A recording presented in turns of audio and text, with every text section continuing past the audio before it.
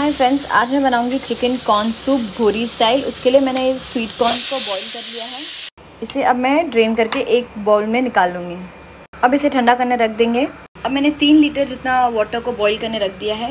इसमें मैं ऐड करूँगी वन एंड हाफ़ के जी जितना चिकन विद बोन्स अब मैं इसे अच्छे से बॉईल होने दूँगी जब तक चिकन पक ना जाए। इसमें ऐड करूँगी थोड़ा सा सॉल्ट अब वाटर में से मैंने चिकन को रिमूव करके इसे इस तरीके से श्रेड कर लिया है। अब मैं सूप को बगारूँगी। आप चाहो तो ये वाटर रिमूव करके एक दूसरे वेसल में भी आप बगार सकते हो, लेकिन मैं, मेरे पास ऑलरेडी ये वेसल में वाटर है तो मैं इसे डायरेक्टली इसमें बगारूँगी। इसमें डालूँगी थोड़ा सा बटर ऐड करूँगी चॉप गार्लिक अब इसमें ऐड करें जिंजर गार्लिक पेस्ट आप ginger garlic paste chicken boil करने में ही ऐड कर सकते हैं, पर मैं भूल गई थी। अब इस प्रकार को सूप में ऐड कर देंगे।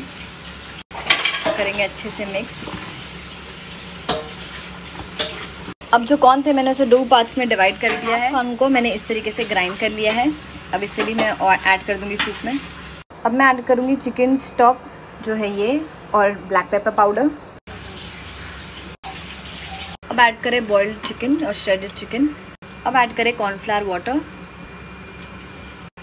इसे अच्छे से आप कुक कर लीजिए जब तक थोड़ा सा कंसिस्टेंसी थिक ना हो जाए।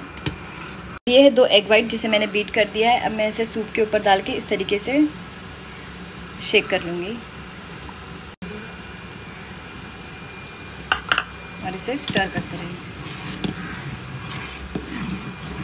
इस तरीके से आपके एग सूप में श्रेडेड जैसा लगेगा। अब लास्टली मैं डालूँगी ग्रीन स्प्रिंग अनियंस का ओनली ग्रीन पार्ट तो ये रेडी है आपका Puri style chicken corn soup बिल्कुल hotel style that's it guys thanks for watching